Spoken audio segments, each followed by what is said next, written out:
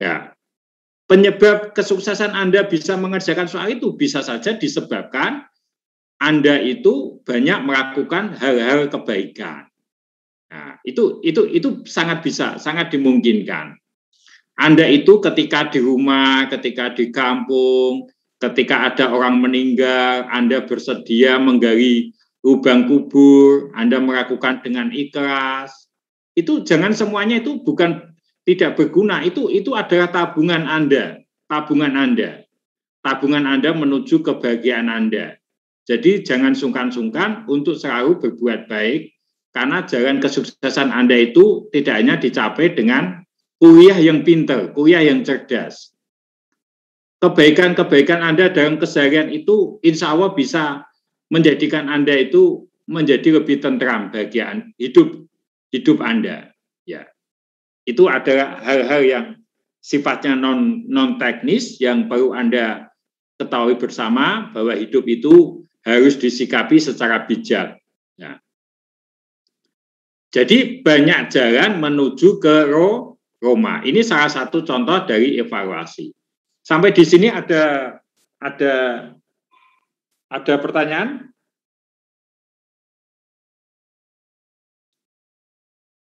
Silakan. Enggak ada ya? Halo? Enggak ada, Pak. Oke tingkat penilaian, tingkat penilaian itu sangat relatif, sangat sangat sangat tergantung dengan kontekstual ya, sangat tergantung dengan kontekstual. Ini sudah ya. Ini biasanya aspek-aspek yang dinilai temanya, kreativitasnya apa, tekniknya bagus atau tidak. Kemudian penilaian dilakukan secara kontekstual, konteks acuan-acuan tambahan itu konteks. Kontekstual seniman dibandingkan dengan konteks zamannya, ya. Jadi seniman di tahun 1940 itu jangan dibandingkan dengan seniman tahun 2000. Lukisan Basuki Abdullah yang yang naturalis, Basuki Abdullah itu dibuat tahun 1990-an. Nah, maka ketika menilai lukisannya Basuki Abdullah, sebaiknya Anda nilai dengan menggunakan konteks di tahun-tahun tersebut. Nah, karena di tahun-tahun sekarang banyak orang bisa melukis dengan teknik Basuki Abdullah. Hampir semua mas mahasiswa seni itu bisa melukis dengan teknik Basuki Abdullah. Orang sekarang ini memiliki kemampuan melukis realis, naturalis, itu sangat banyak. Tetapi di tahun 1990-an, banyak pelukis yang tidak memiliki kemampuan melukis naturalis.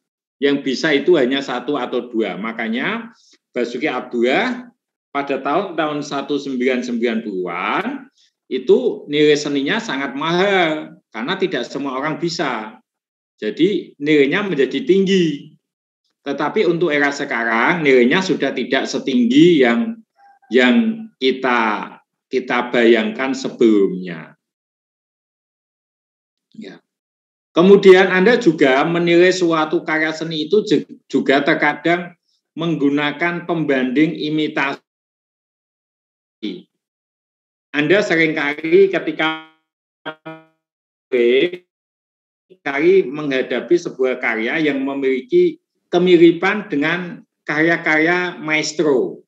Anda misalkan diminta menjadi juri lomba, diminta menilai, tetapi yang Anda hadapi ini sebetulnya ada kemiripan bentuk. Ya. Kemiripan bentuk, penggubahannya hanya sedikit saja. Kreativitas karya itu hanya hanya sedikit saja inovasinya. Oleh karena itu, faktor imitasi ini, faktor imitasi itu meniru, ya, imitasi barang imitasi itu barang meniru. Jadi karya itu ada ada ada kemiripan yang sangat banyak, ya. Oleh karena itu nilainya akhirnya menjadi berkurang.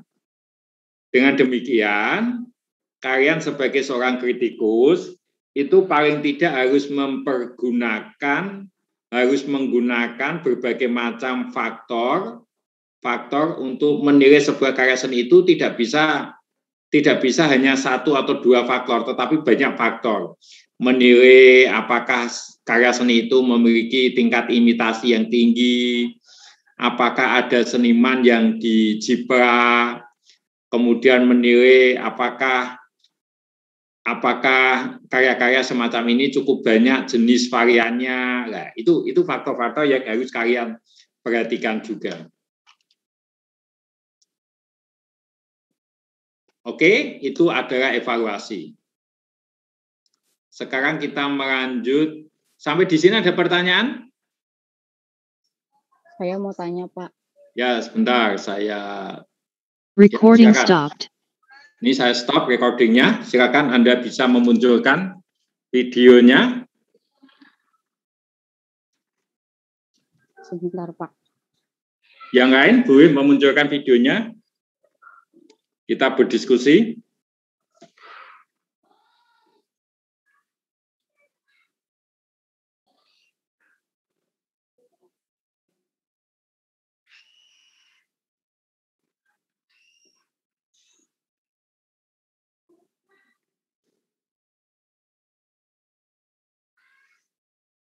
Ya, silakan Mbak. Uh, apakah suara saya terdengar? Oh, tadi suara saya terdengar nggak Mbak? Saya tidak pakai mikrofon, ternyata nggak saya masukkan ke laptop tadi. Terdengar, Pak.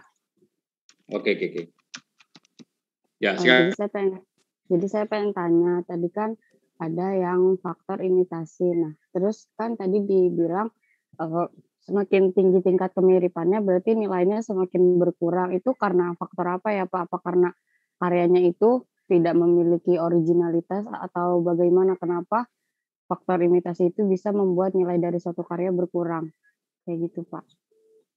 Oke, ada yang bisa menjawab? Yang lain, Mas Adib?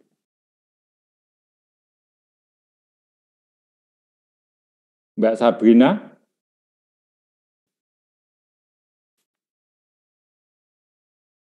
Mbak Sabrina? Mas Adam? Ya, Mbak Sabrina, silakan. Belum, Pak, belum bisa menjawab, Pak. Mas Adam?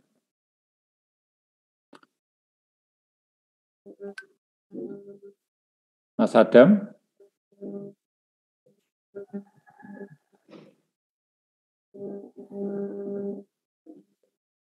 Ya. Mas Adam bisa menjawab?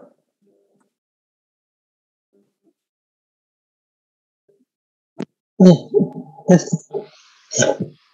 Halo Pak. Ya silakan. Ya mungkin kalau menurut saya sih lukisan itu jadi kurang apa ya eksklusif aja sih kalau mungkin ada unsur imitasinya. Jadinya kurang apa tidak baru aja mungkin kalau menurut saya. Gimana Mbak Fatia dengan pendapat Mas Adam? Uh, Sebenarnya saya bingung Pak. Uh, saya juga mikir kayak gitu. Cuman apa benar kayak gitu? Apa karena itu jadi nggak orisinil, jadi nggak eksklusif atau kayak gimana? Kenapa nilainya bisa turun gitu? Karena faktor imitasi karena banyaknya kesamaan sama karya-karya maestro kayak gitu Pak. Ya, Mas Adam mungkin bisa menjawab lebih jelas. Mas Adam. Jawaban Anda sudah bagus, Mas Adam. Coba lebih diperjelas supaya Mbak Fatia lebih paham. Ya, ya, ya mungkin kalau lukisan kita sama dengan lukisan-lukisan yang sudah ada gitu ya. Kan otomatis kan kita ngeliatnya juga kayak, ah ini udah udah pernah ada yang buat atau mungkin mirip dengan yang sebelumnya. Jadinya ya kitanya jadi apa ya ini ya kurang wah aja gitu mas. Lukisannya jadi malah biasa, mungkin jadi biasa gitu. Oke, bagus sekali Mas Adam. Saya senang dengan pendapat Mas Adam ya. Intinya Mbak Mbak Fatia, pendapat yang disampaikan Mas Adam bisa kita terima bahwa karya seni itu menuntut originalitas. Seni itu menuntut unik. Kata seni ya, kata seni ya. Seni itu mahal, seni itu mahal karena memang memiliki keunikan. Memiliki keunikan. Sesuatu yang unik itu pasti terbatas, terbatas. Orang kaya, orang kaya itu pasti tidak mau pakai handphone yang harganya cuma 2 juta, gengsi. Barang saya kok sama dengan ini, barang saya kok sama dengan ini. Bajunya yang dipakai orang kaya, batik, batik itu yang namanya batik itu yang mahal, itu motifnya tidak ada yang menyamai, motifnya tidak ada yang sama. Jadi ketika dipakai di pasar, dipakai di mall, dipakai kondangan, Orang kaya itu orang kaya itu pasti batiknya tidak akan tidak akan berpapasan itu tidak akan sama. Orang kaya itu ketika berpapasan, "Loh, batiknya kok sama persis?" Gengsi dia. Ini bukan barang seni. Jadi seni itu handmade. Makanya batik yang mahal itu dibuat dengan cara handmade. 5 juta satu baju nggak masalah bagi orang kaya karena dia butuh butuh pengakuan identitas, butuh seni. Saya nggak mau di di, disama-samakan dengan yang lain. Nah, orang kaya itu tidak mau beli mobil Avanza, nanti di jalan bingung dia milih. Gu, mobilku Avanza yang mana ya? Di suarayan kok sama semua ya? Dia maunya Lamborghini yang warnanya khusus, desain khusus ya. Kalau Anda melihat berita-berita Cristiano Ronaldo, Messi, itu mobilnya nggak ada yang menyamai. Di dunia itu hanya didesain 10 10 orang yang mampu memberi itu. Ini seni. Jadi dia sudah mengejar seni. Dia nggak mau epigon. Dia nggak mau imitasi. Ketika dia imitasi, bagi Ronaldo memberi mobil kok sama dengan yang lain. Nah, dia dia tidak ada privilege, tidak ada privilege. Nah, seni itu mahal, seni itu mahal. Seni itu mahal. Jadi ketika seni itu diproduksi massa, maka itu sudah tidak seni lagi. Itu menjadi seni massa, seni produksi desain industri. HP, HP ini kan industri. Ini semua orang punya. Tapi ada HP-HP yang mahal. Mungkin didesain khusus, ada lapisan emasnya, ada desainnya. Dia tidak mau HP bentuknya yang sama dengan yang lain. Ada satu keunikan-keunikan. Ini namanya seni. Jadi imitasi itu, barang imitasi itu mesti murah. Barang imitasi.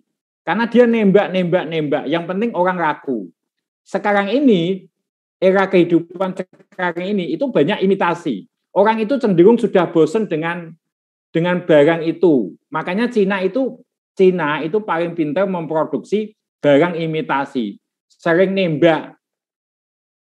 Ya, orang Indonesia itu suka dengan kebaruan-kebaruan, tapi harganya terjangkau. Ya, setelah satu tahun dipakai bosan buang. Setelah dipakai satu tahun buang. Ya, itu itu digunakan strategi oleh orang Cina untuk untuk memproduksi barang-barang yang murah tetapi desainnya kekinian. Bisa dimengerti Mbak Fatia? Bisa Pak, terima kasih.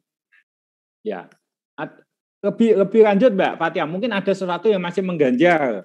Enggak apa-apa, kita berdiskusi. Enggak Sam Pak, udah enggak ada. Oke. Mas Adam, terima kasih ya. Oh iya Pak. Oke, Mas Adam bagus ya. Pintar gitu kok Mas Adam kok. Ayo mungkin ada pertanyaan Mas Adam. Belum se sejauh ini. Mas Muhammad Nail. Iya, izin menambahkan nanti. Ya. Ini kalau masalahnya tentang juga termasuk sama tinggi nilainya Pak sih Pak? Biasanya Pak uh, semakin lebih banyak kayak lukisan lukisan zaman dulu ya itu kan uh, semakin ke sini kayak esensi ceritanya itu apa isi dari dalam lukisan itu uh, lebih banyak itu. Jadi uh, jadi semakin mahal nilainya. Apa ya. itu juga termasuk, Pak? Ya. Betul. Oh ya, karya-karya seni dulu yang sekarang mulai terbatas karena senimannya sudah mati, karena barangnya sudah langka, sudah langka, senimannya sudah mati, maka lukisannya itu menjadi mahal. Kalau senimannya masih hidup, lukisan itu menjadi murah. Tapi ketika senimannya sudah mati, maka menjadi mahal. Sekarang ini kalau Anda beri, baca berita-berita ya, Michael Jackson atau Anda tahu Michael Jackson kan? Tahu nggak? Ya tahu, tahu Lady, Lady Diana nggak? Lady Diana. Tahu Istri. Pak. Ah, barang-barangnya Lady Diana itu kertas kertas ya, kertas catatan surat saja itu harganya bisa 500 juta, bisa satu juta karena itu barangnya sudah langka. Barangnya sudah langka, jadi semakin terbatas. Itu seni. Ya kenapa itu menjadi mahal, Pak? Ya, kolektor, kolektor itu orang kaya. Kolektor itu yang yang dicari itu pokoknya yang unik-unik. Yang unik itu biasanya memiliki nilai investasi. Nah, saya nggak tahu bisnis ya, tapi bagi orang-orang tertentu, barang yang semakin unik itu semakin memiliki nilai investasi. Anda punya uang jadul, koin, ya 100 rupiah atau 25 rupiah. Nanti 20 tahun lagi barangnya menjadi barang unik. Banyak hal, banyak hal kehidupan-kehidupan Anda. Ya, banyak hal, ya. Jejak-jejaknya Lady Diana, jejak-jejaknya Michael Jackson itu semuanya mahal semua itu karena itu punya nilai historis. Saya sering baca cerita-cerita itu. Ada ada lukisannya, sket lukisannya Nazi, apa itu pemimpin Nazi itu siapa? Di Jerman? Hitler, Pak. Hitler ya. Hitler itu Hitler itu ketika lulus SMA pengen mendaftar kuliah di seni, tetapi tidak diterima. Ya, dia itu frustasi, banyak nyeket-nyeket gitu. Hasil seketannya sekarang itu banyak diburu kolektor. Seketannya, seketannya Nazi, seketannya Hitler itu banyak diburu kolektor karena punya sejarah yang tinggi. Ini ini yang bikin Hitler tokoh dunia selama 40 tahun, tokoh yang paling berkuasa, tokoh yang paling diktator, tokoh yang paling kejam. Ini ini sangat unik, ya, sangat unik. Ya, makanya kalau kalian pengen menjadi youtuber yang terkenal, jadilah youtuber yang unik. Nah, nanti pasti laku. Tapi memang butuh edan. Jadi youtuber itu butuh butuh keberanian yang luar biasa. Oke, Mas Muhammad Nairul, ya gitu ya, Mas. Iya, Pak. Ada lagi? Tapi ini ini gambaran-gambaran umum ya. Gambaran-gambaran umum kenapa karya seni itu mahal, itu gambaran-gambaran umum. Tetapi sejatinya ya banyak faktor, banyak dimensi. Tidak bisa ditembak ditembak seperti apa yang saya sampaikan, tidak bisa. Jelas, dimengerti? Jelas, Pak. Oke. Ada lagi pertanyaan?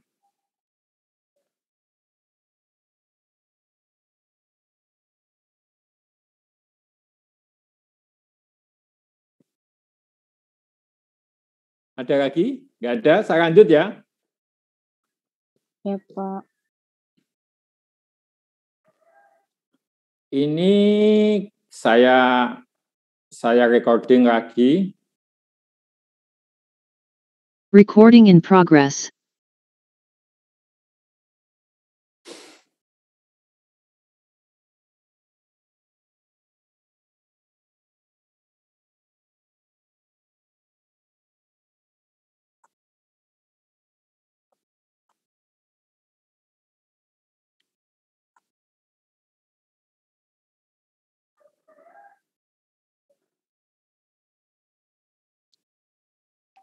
Ya, Mas Adam, tolong ini dibaca Mas Adam.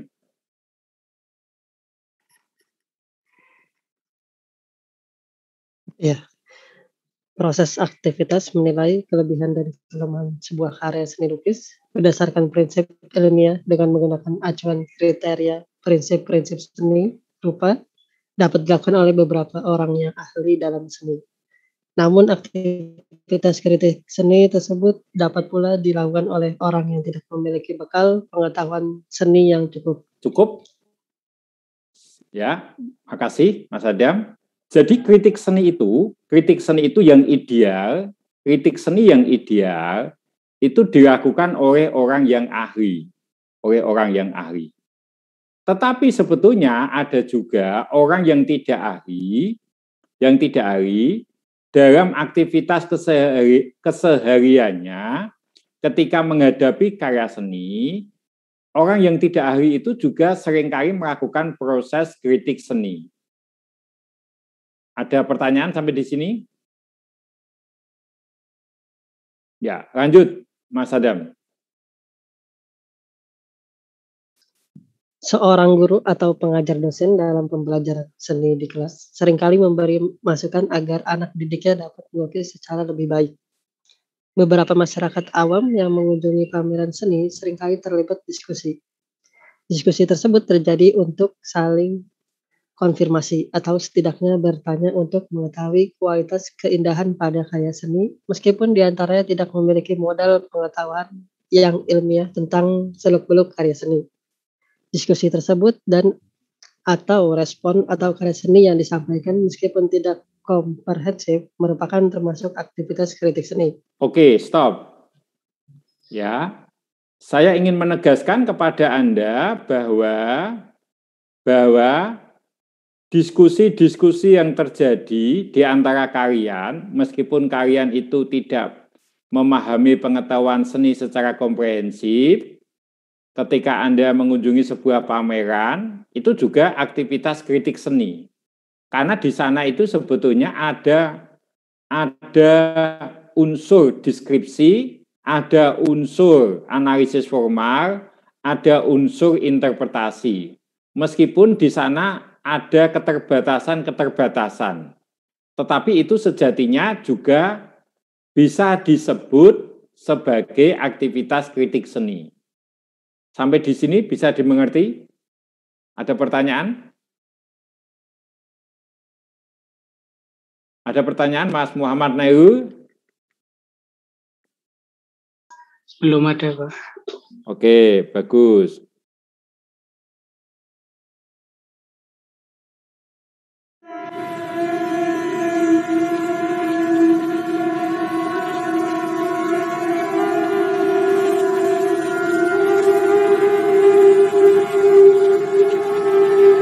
Lanjut, Mas Adam.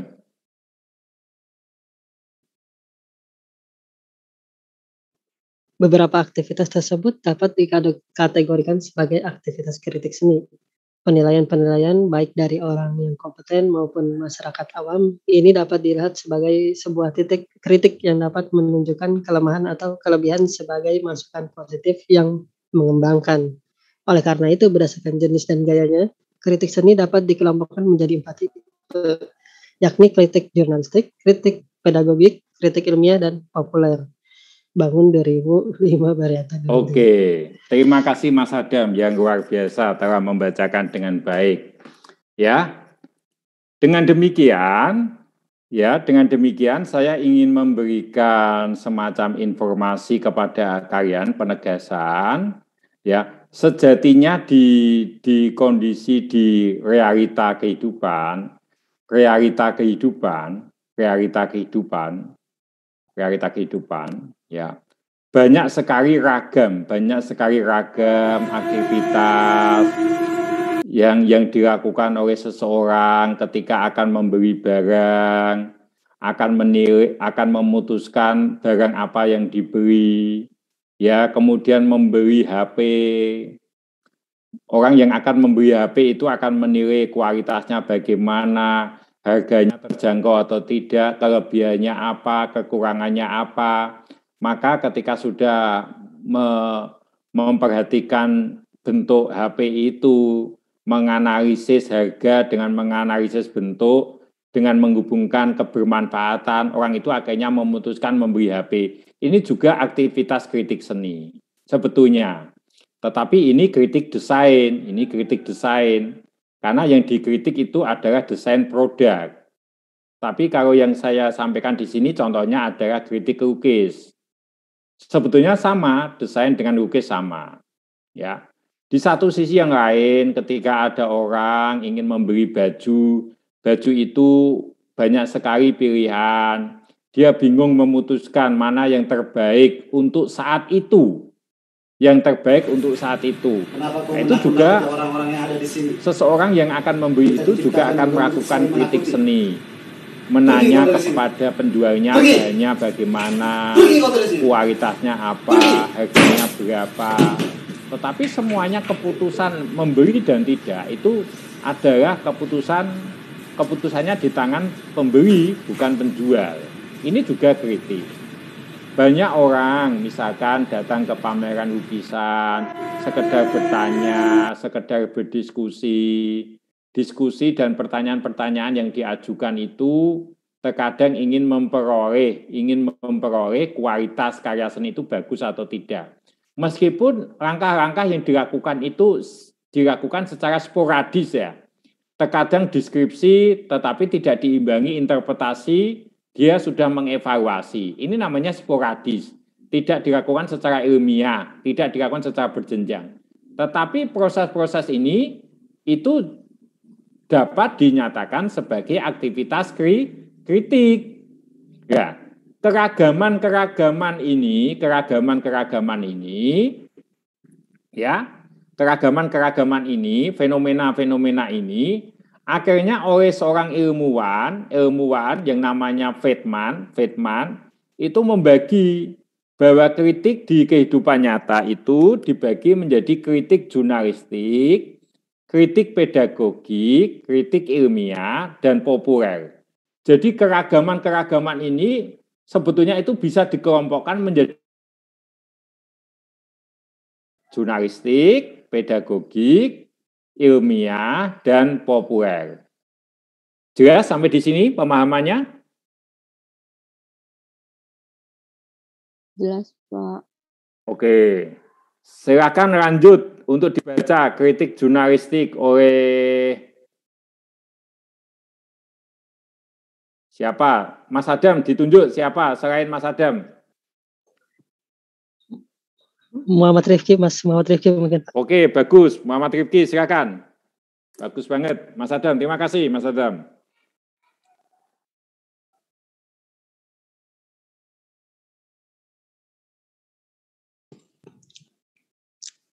Ya, kok uh, kritik jurnalistik, kritik jurnalistik dalam kritik jenis ini hasil ulasan, eh, kritik disampaikan melalui sebuah media seperti koran, majalah atau media sosial lainnya. Ketika ada kegiatan pameran lukisan, seorang kritikus, seniman, pengunjung akan diwawancari saat pameran dan hasilnya akan diramu dan ditulis dalam format berita untuk dimuat di koran atau majalah. Karena keterbatasan ruang dalam koran, maka gaya tulisannya biasanya sangat singkat dan lebih informatif, meskipun terdapat ulasan penelitian kualitas yang sifatnya tidak mendalam, sungkat, dan padat. Serta mudah dicerna oleh masyarakat awam, seorang kritikus jurnalistik berusaha menyampaikan ulasannya yang ingin memuaskan rasa ingin tahu para pembaca secara awam. Oke, stop. Terima kasih, Mas Muhammad Rifki. Ya,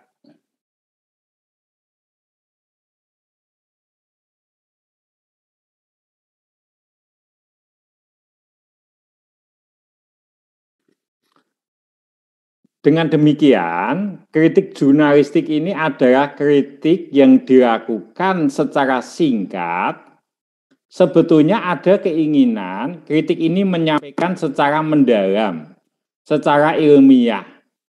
Ya, tetapi karena keterbatasan keterbatasan ruang media, keterbatasan ruang media, maka ulasannya itu biasanya singkat, singkat ya, padat dan mudah dicerna oleh masyarakat awam.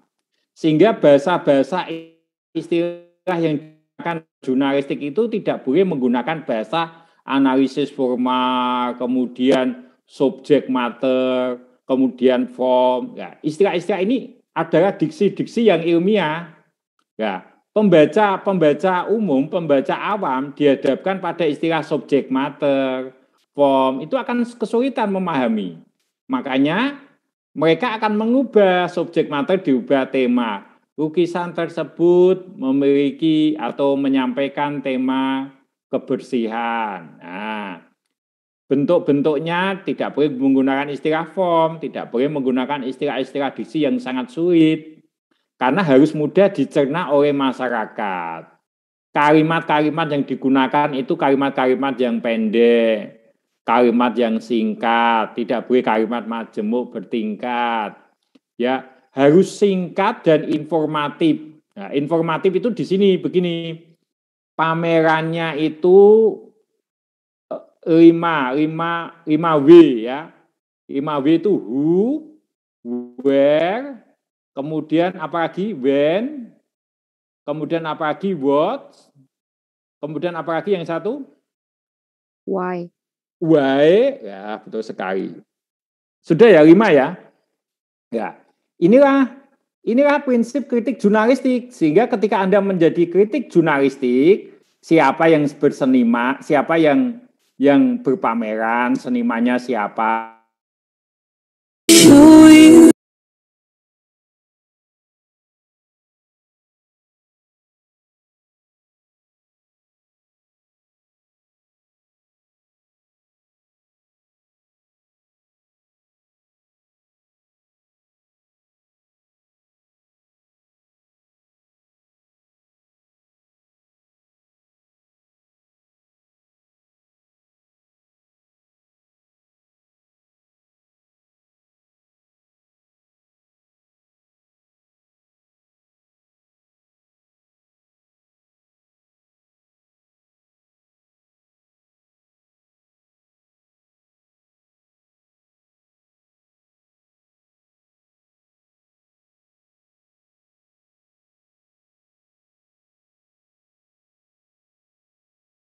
Recording in sekarang ini progress. ya, sekarang ini banyak banyak kementerian-kementerian itu yang membutuhkan seseorang yang memiliki kemampuan menulis kritik. Karena yang dikritik itu bukan hanya lukisan, tetapi berbagai macam aspek-aspek kebendaan. Ya, Anda ketika memiliki kemampuan kritik yang baik bisa menjadi penulis majalah, penulis majalah desain yang terkenal, ya gajinya mahal ini, ya gajinya mahal. Anda ketika menjadi analis, analis dari sebuah tren tas, analis dari sebuah tren baju, nah itu bisa menjadi profesi bagi Anda, ya. ya. Namun demikian, kritik ini tetap tetap ingin ingin melakukan kajian yang mendalam, tetapi kajiannya tidak sampai tidak sampai yang detail, yang rinci, tetapi cukup cukup cukup membantu untuk untuk memahami karya itu. Biasanya begitu, ya. Cukup membantu, ya. Cukup membantu. Ya. Sampai di sini ada pertanyaan yang kritik jurnalistik?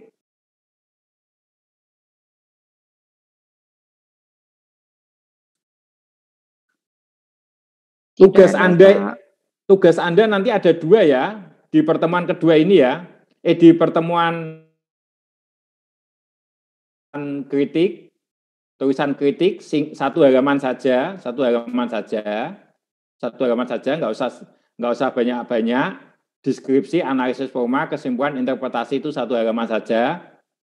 Kemudian tugas kedua Anda itu mencari contoh kritik jurnalistik satu, kritik pedagogik satu, kritik ilmiah satu, dan kritik populer satu. Ya nanti ada satu tugas. Ini saya tempatkan di pertemuan kedua, eh, pertemuan ketujuh, yang ini pertemuan keenam. Nanti diupload. Mencari contoh tulisan kritik jurnalistik. Tidak harus full tulisannya. Anda bisa mengcopy dari majalah, dari media massa, atau dari mana, atau dari Instagram. Tulisan-tulisan Instagram itu kadang-kadang itu ada ada tulisan yang sangat anali- analisis banget, Anda bisa copy. Berbagai macam lah, berbagai macam media sosial itu Facebook, komentar kom- komen-komen, komentar-komentar itu itu itu semuanya bisa Anda cari. Kalau kritik ilmiah Anda bisa mencari di mana?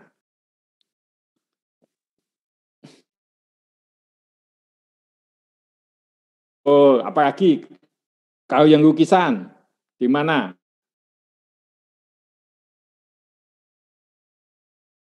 Yuk, yang lain. Oh, saya kasih tugas kok. Anda sepertinya nggak tahu mencarinya di mana kalau kritik ilmiah. Mas Adam mungkin? Ya sama sih Pak Google Scholar terus Terus? eh apa tuh ya lupa namanya e, e, e-book atau e, apa gitu. Oke, itu apa lagi yang kritik kimia? Tulisan kritik itu biasanya di mana? Yang ditulis kritikus yang ahli. Di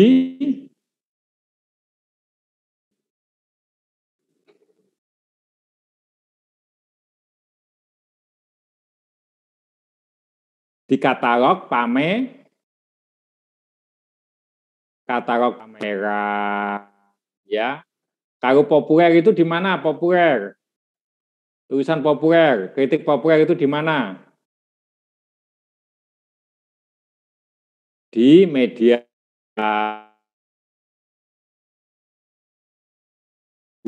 Itu biasanya komen-komen orang-orang umum yang tidak paham dengan seni ya. Kita lanjut. Mas Muhammad Nairul, siapa yang Anda tunjuk untuk membacakan ini? Mas Rifki, Muhammad Rifki.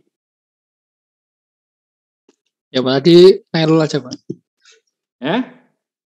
Ma, apa, Muhammad Nairul Pak. Oke, Muhammad Nairul, silakan. Muhammad Nairul sudah tadi komen, yang lain, yang belum komen, yang belum bersuara.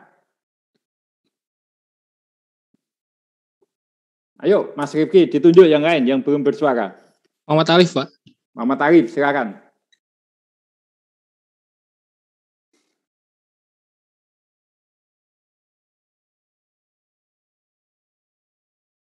Dipanggil toh, Muhammad Arif. Muhammad Arif. Tes.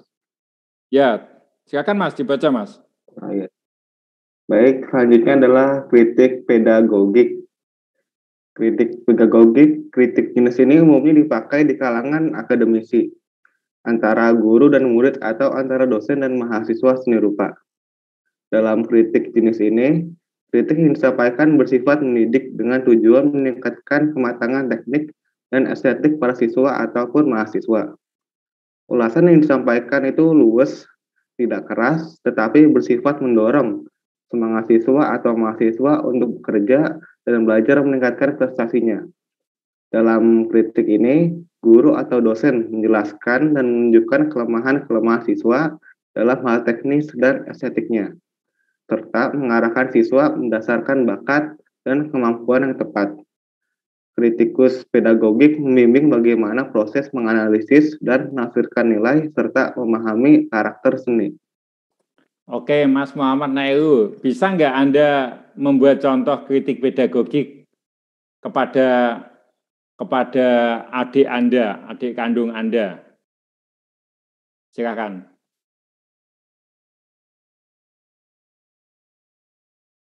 Contoh-contoh kalimat, contoh contoh urean mengenai pedagogik. Mas Muhammad Muhammad siapa? Arif ya tadi ya. Mas Muhammad Arif, silakan Mas Muhammad Arif.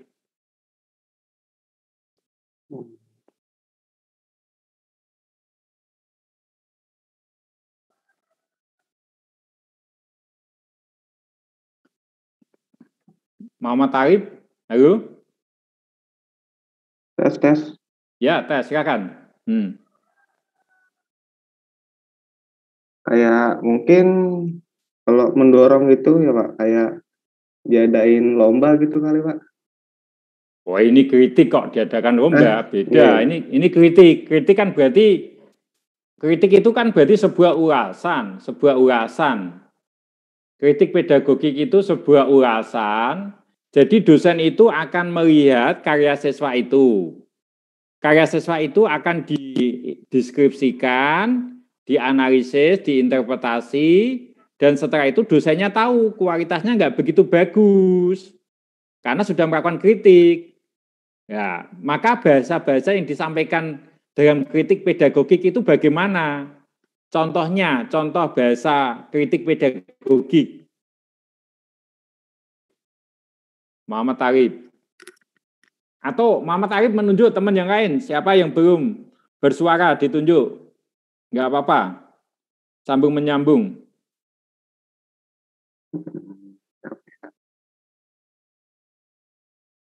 Uh, Alfian Malik deh Pak. Oke, Alfian Malik. Uh, cek, suara saya terdengar nggak ya? Terdengar. Terdengar, uh, Ini, kritiknya apa ya Pak, masis eh, Pak, dosen ke mahasiswa atau yang tadi menyambung kakak ke adik gitu? Oke, boleh bebas, boleh, boleh. Dua-duanya boleh, bebas, bebas. Ya, betul, bagus. Silakan. Mungkin kalau misalnya dari kakak ke adik, bahasanya gini, uh, uh, situasinya adiknya sering main game gitu. Mungkin kakaknya bisa mengkritik gitu, ayo deh uh, belajar gitu. Karena kan kemarin kamu nilai ulangannya kurang baik, makanya kamu sekarang belajar biar uh, ulangan kamu tuh baik gitu. Karena kalau kamu main game terus nanti kamu susah buat mengerjakan soal kayak gitu sih Pak. Kalau Oke. misalnya adik. Betul. Sekarang yang kontak lukisan, yang kontak lukisan. Dosen, dosen seni rupa dengan mahasiswa seni rupa. Oke. Ketika sudah karya, ini kan kritik lukis, kritik karya atau kritik desain atau seorang dosen di kafe meng, me, mengkritik karya anak anak yang membuat poster. Nah, silakan. Oh, kalau kritiknya mungkin kayak gini ya, Pak. Uh, Mbak uh, atau Mas gitu. Eh, saya ambil contoh misalnya uh, mengkritik karyanya uh, Fatia gini. Uh, Mbak Fatia, ini sepertinya kurang ada visual atau kayak pesannya kurang tersampaikan. Mungkin bisa ditambahkan visual seperti tangan ataupun uh, lubu atau apa kayak gitu. Terus untuk warnanya mungkin lebih uh, cerah atau sesuai dengan tema kayak gitu mungkin Pak kritiknya. Iya, cerdas bagus, cerdas banget, bagus banget Mbak Alfia Malik telah memberikan contoh yang luar biasa bagaimana memberikan kritik pedagogik ya. Yang disampaikan Mbak Alfia Malik itu contoh yang betul, contoh yang berhasil bahwa salah satu salah satu upaya yang dilakukan dosen terhadap karya anak mahasiswa DKV itu dengan memberikan ulasan-ulasan terlebih dahulu, kemudian memberikan solusi-solusinya. Mbak Fatia mungkin ini lebih baik ketika ditambah visual tangan. Mbak mungkin warnanya ini lebih dikuatkan supaya supaya subjeknya menjadi lebih kontras dengan background. Ya, sehingga di sana ada ada ada upaya dari dosen selaku kritikus. Dosen itu paham kualitas karya ini tidak baik. Kualitas karya anak ini tidak baik, tetapi bagaimana menyampaikan supaya tidak, anak itu tidak tersakiti, tidak patah semangat, maka anak itu didorong. Wah karya yang baik, bagus ini, kalau lomba ini masih menang, tapi masih kurang ini, coba tambah ini. Ya. Itu itu adalah contoh kritik pedagogi. Meskipun kritiknya tidak tidak tidak ilmiah, tidak tidak apa namanya tidak lengkap, tetap itu ilmiah. Seorang dosen itu tentunya dalam melakukan kritik pedagogik itu paham deskripsi, paham analisis, paham interpretasi, dan paham evaluasi. Tetapi bahasa-bahasa itu tidak disampaikan secara total, secara komprehensif bahasa deskripsi, bahasa analisis, bahasa interpretasi, sama evaluasi tidak disampaikan komprehensif, tetapi yang disampaikan itu yang pokok-pokok saja. Sehingga ulasannya itu yang disampaikan luwes. Mbak, kayak kamu mungkin lebih bagus apabila simbolnya ini dibuat dalam ukuran yang besar. Semangat ya Mbak, semangat ya Mas, itu. Coba dimodifikasi lagi. Nanti kayak kamu bisa laku terjual. Nanti kayakmu bisa terkenal. Nah, itu contoh kritik pedagogi.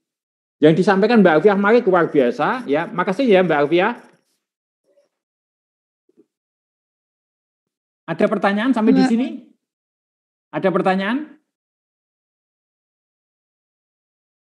Ada pertanyaan? Enggak ada. Alfiah Malik menunjuk satu orang lagi untuk membaca ini.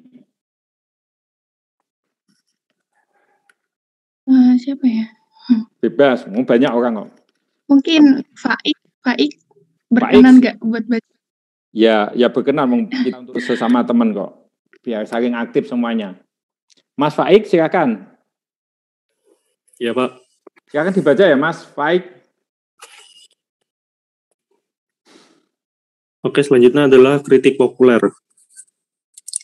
Jenis kritik ini tidak jauh berbeda dengan kritik jurnalis, namun umumnya dilakukan secara spontan oleh para kritikus, pengamat, bahkan masyarakat setelah melihat sebuah karya seni. Oleh karena itu, hasil kritiknya pun ber, bisa berbeda, berbeda-beda. Hal ini tergantung dari perhatian dan pemahaman setiap kritikus, pengamat, atau masyarakat yang menilai tersebut. Namun kecenderungan secara keseluruhan, penilaian terhadap kualitas karya seni ditentukan oleh pendapat mayoritas dari kritik mayoritas dari kritikus Jenis kritik ini banyak diterapkan saat ini misalnya dalam berbagai kontes seni di, di mana penilaian kualitas karya seni ditentukan melalui instrumen-instrumen seperti polisan singkat atau SMS atau Oke, Anda bisa memberi contoh yang real Mas, yang nyata Mas? Terkait dengan YouTuber Mas, YouTuber, Anda tahu? yang lagi viral? Bisa dijelaskan, Mas? Mas Faik? Ya, Pak. Bisa dijelaskan hubungan antara antara yang sesuatu yang viral sama kritik populer?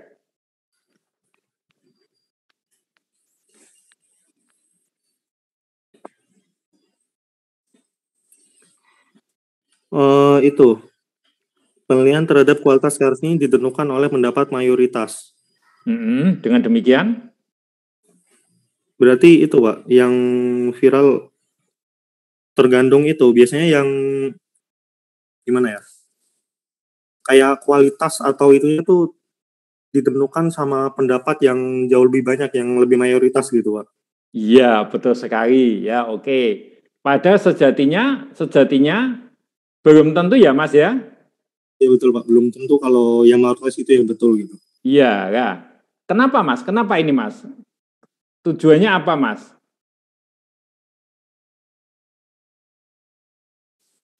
Bisa diceritakan lebih jelas Mas? Kenapa itu belum tentu? Kenapa ini dianggap viral? Viral itu yang bagaimana? Mungkin Anda punya pengalaman Mas. Yang viral itu terkadang itu bagaimana? Karakteristik viral itu bagaimana? Yang di sini yang ahli ahli medsos siapa Mas? Mas Ahmad bisa menunjuk kepada teman untuk menjelaskan. Saya kan tidak paham betul. Yang paham tentang viral, subscriber itu apa ciri-cirinya, bisa menceritakan. Mas Aman Nur Faik bisa menyebut satu orang. Uh, mungkin yang ahli di sini. Dimas Arya Semar, Pak. Ah, Dimas, silakan.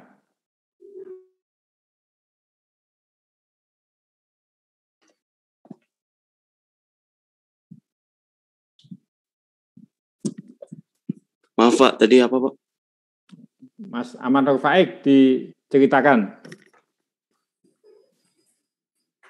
Yang itu tentang misal sesuatu hal yang viral. Oh. Mungkin karena ini Pak, apa? Perspektif unik uh, YouTuber itu sendiri Pak. Hmm, diceritakan toh Mas, kita seperti ngobrol sebagai teman Mas, kita semuanya teman Mas.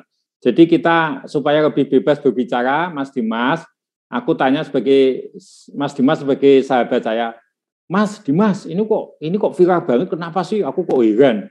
Masa begini kok yang nonton banyak banget, subscribernya banyak. Hebatnya apa sih Mas? Atta Halilintar sih Mas. Setiap setiap video yang dibuat kok selalu subscribernya banyak, hebatnya Raffi Ahmad itu apa toh Mas?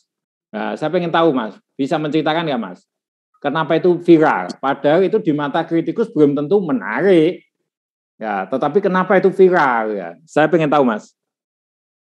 Iya Pak. Uh, yang pertama pasti uh, mereka sudah banyak bikin video ya Pak. Hmm dan eh, video-video uh, yang mereka buat itu sebelumnya nggak viral gitu misalnya nggak nggak rame gitu mm-hmm. Nah pada uh, suatu waktu dia ngebuat video yang mungkin unik dan uh, relate untuk banyak orang kali ya dan bermanfaat gitu soalnya tipe viral juga banyak pak ada yang bermanfaat untuk orang ada yang emang karena unik hmm. atau karena lucu gitu videonya. Oh, oke. Okay. Relate itu maksudnya apa Mas tadi Mas? Relate maksudnya apa? Relate itu uh, nyambung. Oh, nyambung apa? berhubungan. Nyambung ke banyak orang gitu, Pak. Oh, relate itu berhubungan. Re ya, relation berhubungan. ya. Iya. Oh, itu bahasa-bahasa gaul anak muda sekarang ya? Iya, Pak. Oh, saya baru tahu. Ya, relation dari bahasa relation, relate, berhubungan. Iya. Oke. Okay. Ya. Ada lagi Mungkin. yang mau disampaikan, Mas? Ya, silakan. Mungkin uh, saya ngambil contoh aja ya Pak ya. Uh, salah satu youtuber uh, namanya Agung, namanya Agung Apsa. Nah, uh, Agung Apsa ini kayak uh, dia bikin konten, kontennya itu selalu rame Pak. Hmm. Uh, ibaratnya dia udah jadi youtuber top youtuber gitu. Hmm. Dia dia ngebuat uh, videonya itu tipenya itu yang evergreen gitu pak. Yang selalu apa yang selalu uh, bisa ditonton ulang gitu pak. Contohnya kayak uh, kamera gitu apa tentang tips uh, tips-tips filmmaking gitu pak. Jadi uh, videonya itu nggak kemakan uh, waktu gitu pak. Jadi bisa ditonton dari uh, apa? Misalnya apa? Jadi videonya itu uh, fresh gitu lah pak. Okay. jadi masih relate dari tahun ke tahun itu pak. Masih bisa ditonton gitu sama iya. orang-orang. Luar biasa luar biasa. Ya betul sekali mas Dimas. Ya oke. Okay. yang bisa relate ditonton tidak lekang zaman ya Mas ya, tidak lekang waktu ya. Jadi iya, tidak Pak. tidak membosankan ya. Itu itu memang di sini perlu saya jelaskan bahwa kritik populer itu adalah kualitas karya seni itu yang menjadi penentu itu adalah masyarakat umum, masyarakat umum. Jadi masyarakat umum yang yang dominan, yang paling banyak, yang paling banyak. Ya, itulah yang disebut dengan populer. Populer itu populer itu istilahnya sama dengan viral, viral, hampir sama. Populer itu yang terkenal, viral itu yang terkenal. Nah, ini kritik populer itu sama juga dengan kritik yang viral. Jadi kritik ini dilakukan oleh sebagian besar masyarakat. Ya, nanti masyarakat itu akan menentukan pilihan karya seni yang baik sama yang tidak baik ya. Kuantitas, kuantitas, kuantitas yang disukai, yang di-like itulah yang menjadikan karya itu menjadi populer.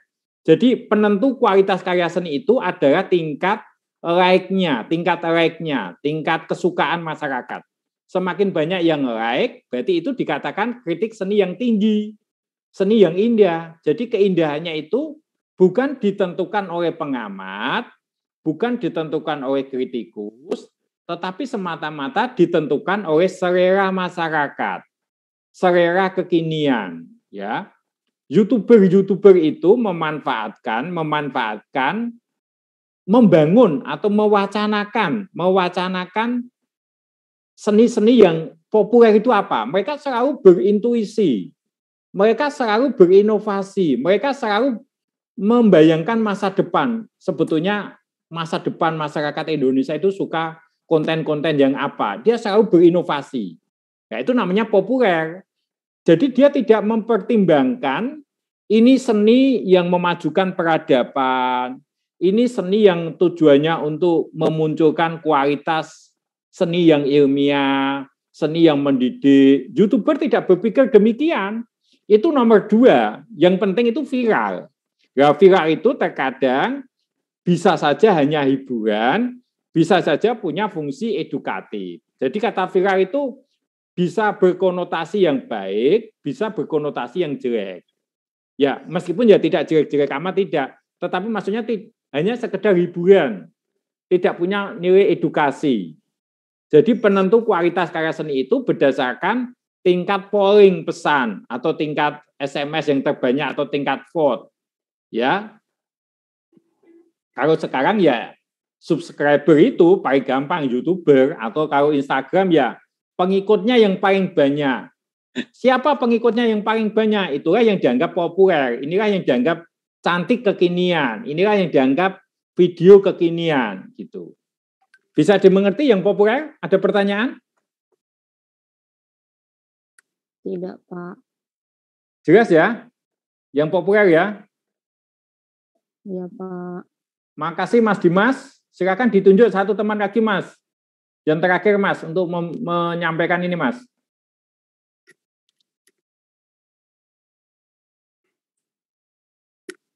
Baruna, Pak. Ya, silakan Mas Baruna. Iya, Pak. Ini menyampaikan apa, Pak? Ini dibaca, dibaca. Oh, kritik ilmiah. Iya. Ilmiah. Jenis kritik ini berusaha menyajikan tulisan analisis yang sistematis, terukur, dan mendalam disertai dengan bukti-bukti data-data lengkap, sehingga hasilnya berupa evaluasi yang dapat dipertanggungjawabkan secara ilmiah. Dalam kritik jenis ini, kritik akan dilakukan secara sistematis mulai tahapan deskripsi, analisis formal, interpretasi, dan evaluasi. Hasil penilaian kritik ilmiah dapat dijadikan sebagai tolak ukur yang valid akan kualitas sebuah karya seni. Manfaat kritik ilmiah akan dapat memberikan nilai positif bagi perupa atau seniman dalam memperbaiki dan menuangkan gagasan-gagasannya ke dalam karya seni rupa di masa yang akan datang secara lebih baik. Oke, Mas Baruna bisa menjelaskan perbedaan kritik ilmiah dengan kritik populer terkait dengan manfaat, terkait dengan manfaat. Kalau menurut saya kritik ilmiah itu karena uh, dikritik, kritiknya itu secara ilmiah itu dapat uh, berguna untuk senimannya karena dapat untuk memperbaiki karyanya di masa yang yang akan datang. Oke. Terus kalau, kalau kritik populer itu uh, bermanfaat uh, untuk kepopularitas dari seniman tersebut. Gitu, Pak. Oke. Mas Baruna bisa menunjuk teman yang kira-kira bisa menjawab ini secara lebih baik yang belum bicara, yang belum bicara dari awal. Silakan. Silakan ditunjuk. Yusuf Akbar, Bang. Yusuf Akbar, silakan. Manfaat manfaat kritik ilmiah sama manfaat kritik populer. Perbedaannya apa? Mas Yusuf Akbar, silakan. Iya, Pak. Gimana, Mas? Menurut saya kritik ilmiah itu manfaatnya untuk keilmuan ya, Pak. Keilmuan, oke. Keilmuan saya catat, bagus. Mas, Mas tadi yang men, sebelum menjawab Mas Yusuf Akbar, siapa tadi? Mas Baruna? Halo, Mas Baruna? Iya, Pak. Jawaban Anda seniman menjadi lebih baik, bagus, oke. Saya tampung ya, Mas Baruna ya. Jawaban Anda oh. bagus. Secara keilmuan bagus juga ini jawaban dari Yusuf Akbar ini. Eh, Yusuf siapa tadi? Yusuf Akbar. Ah, Yusuf Akbar bagus. Terangkan, Mas. Keilmuan, maksudnya apa, Mas? Bagus, menarik nih jawabannya nih. Uh, jadi kan kritik ilmiah itu kan dianalisis secara sistematik ya, Pak. Mm-hmm. Jadi bisa untuk evaluasi bagaimana uh, karya seninya itu apakah secara ilmiah bagus atau tidak gitu Pak menurut saya. Jadi ada unsur keilmuannya. Oke, jadi dalam melakukan kritik menggunakan basis-basis keilmuan ya. ya Pak. Sehingga seniman itu menjadi lebih percaya, sehingga seniman itu menjadi punya pedoman yang jelas. Dia larinya ke mana, arahnya ke mana, karena dilakukan dengan basis-basis keilmuan. Nah, sedangkan kritik populer, Mas, manfaatnya apa, Mas? Uh, kritik populer ya buat meningkatkan popularitas ya, Pak, menurut saya, Pak. Soalnya okay. kan yang mengkritik orang yang mayoritas. Oke. Okay. Kebanyakan orang gitu, Pak. Oke, okay. itu dalam jangka pendek, Mas. Manfaat dalam jangka pendek. Sekarang yang saya tanyakan manfaat jangka panjang. Manfaat jangka panjang dalam konteks kemajuan sebuah kebudayaan, dalam konteks kemajuan, dalam konteks kemajuan sebuah negara atau budaya negara. Apa, Mas? Ya. Betul sekali, semuanya dicatat. Yang disampaikan tadi manfaat jangka pendek, ya, semuanya mencatat manfaat jangka pendek. Kritik ilmiah itu begini, kritik populer itu begini. Tetapi dalam ketika kita berpikir dalam ranah kita itu seorang seorang pejabat negara, ya manfaatnya apa dalam konteks kebudayaan, dalam konteks peradaban, hmm. kemajuan negara? mungkin supaya lukisannya bisa berkembang gitu pak jadi uh, jadi lukisannya tahun-tahun depan masih orang masih tahu gitu pak gimana ya Oke, Mas Yusuf Akbar bisa mengalihkan ke satu lagi temannya yang pinter, yang bisa menjawab ini, yang kira-kira siapa? Monggo, Mas Yusuf. Uh, Mas Joshua mungkin Pak. Joshua, ya Joshua silakan. Immanuel. Joshua Immanuel. Uh, iya Pak. Kritik populer. Hmm, kalau menurut uh, pendapat saya sih, kayaknya kritik populer ini uh, manfaat yang kepanjangnya itu karena biasanya mengkritik ini bisa masyarakat umum gitu. Nah, akhirnya eh, di waktu-waktu yang akan datang tuh mungkin aja bakal banyak orang yang lebih kritis gitu sih Pak. Oke, betul juga. Bisa menginspirasi bagi-bagi lahirnya kritikus-kritikus, pembaca-pembaca itu memberikan komen-komen itu melahirkan semacam kritikus-kritikus awal berkenan menjadi berkenan memberikan komen-komen gitu ya. Oke, boleh yang sedangkan manfaat yang jangka panjang kritik ilmiah dalam konteks peradaban ya, konteks peradaban ya, kemajuan bangsa loh ya.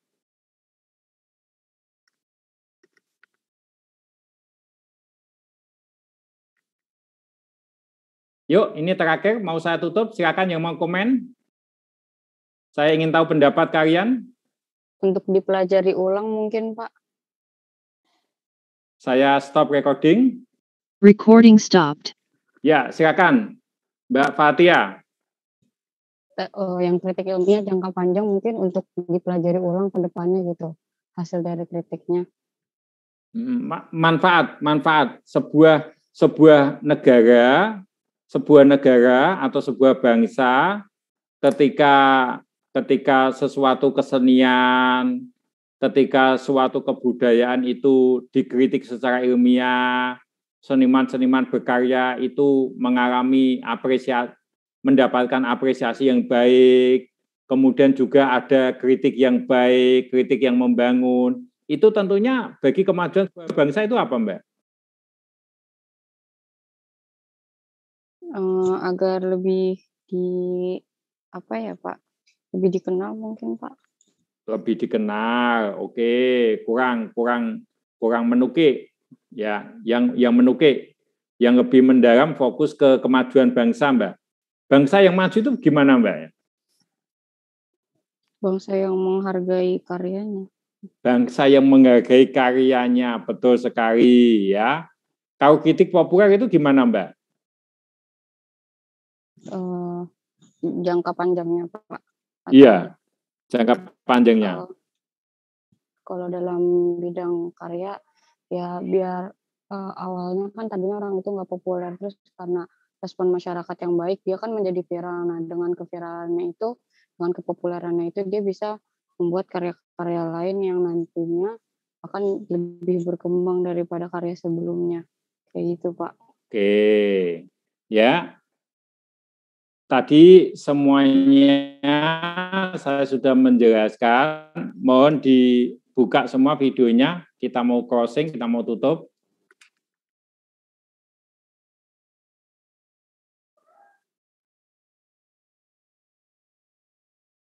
Ternyata kalian penting disampaikan kalian bagus-bagus banget tadi ya luar biasa luar biasa ya. Cuma kalian itu lebih banyak di diam sebetulnya ya memberikan pendapat-pendapat gitu. Maksud saya adalah bahwa kritik kritik ilmiah itu bagi kemajuan bagi bangsa, bagi sebuah negara ketika banyak praktek-praktek kesenian yang di yang dipentaskan, yang dipamerkan itu memperoleh kritik-kritik yang ilmiah, itu tentunya akan membangun peradaban kebudayaan negara itu menjadi lebih baik ya peradaban peradaban. Peradaban itu civilization ya. Peradaban itu kebudayaan. Kebudayaan itu cara berpikirnya kemudian apa namanya gaya hidupnya ya.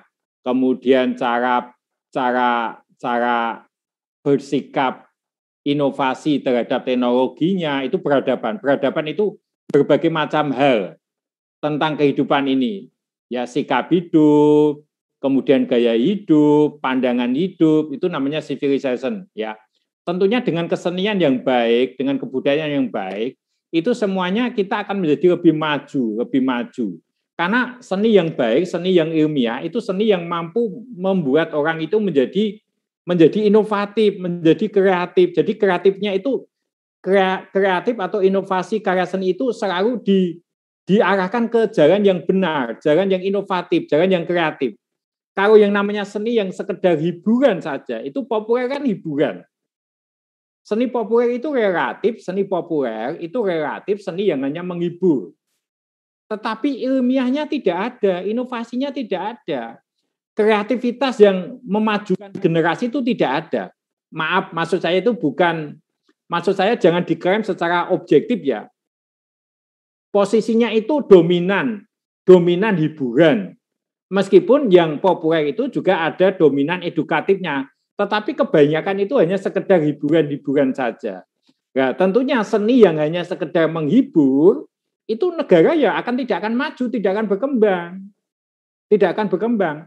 Kalau kalian melihat ya, melihat film-film film-film yang diproduksi Hollywood itu film-film seni yang futuristik, teknologi, teknologi, kemudian penciptaan makro hologram, ya, Spiderman yang terakhir itu kan ternyata rekayasa imajinasi, rekayasa mata kita bisa ditipu dengan dengan teknologi apa proyeksi hologram. Itu, itu itu kan berbicara seni secara teknologi. Ini seni yang ilmiah. Nah, jadi seninya tidak hanya hiburan tetapi memasukkan nilai-nilai nilai-nilai peradaban, nilai-nilai kemajuan. Nah, jadi kritik ilmiah itu sangat penting kehadirannya, sangat penting kehadirannya karena maju dan tidaknya sebuah seni itu tergantung kritikus itu ilmiah atau tidak, tergantung kepakaran kritikus itu. Kritikus yang hebat, kritikus yang yang jenius itu bisa mengetahui karya seni ini bagus atau tidak. Bisa dipahami, dimengerti? Bisa ya? Mbak Fatia? Jelas? Jelas, Pak. Oke, Nayu? Iya, jelas, Pak. Oke, mungkin cukup sekian saja ya pertemuan kali ini ya. Saya sudah menjelaskan dari awal pertemuan 1, 2, 3, dan seterusnya. Ya, minggu depan siap dengan uji, ujian tengah semester UTS. Soalnya kira-kira 30 dan 5 dikerjakan satu jam dengan waktu yang terbatas. Jadi nanti tidak ada perpanjangan waktu yang gagal ya nanti gagal ya tentunya nilainya akan akan ngedrop. Oleh karena itu manfaatkan waktu yang sebaik-baiknya. Ingat jaringan jangan sampai putus ya. Jaringan sampai jangan sampai putus, usahakan yang yang terbaik ya. Terima kasih. Kuliah hari ini saya cukupkan sampai di sini. Assalamualaikum warahmatullahi wabarakatuh. Waalaikumsalam warahmatullahi wabarakatuh.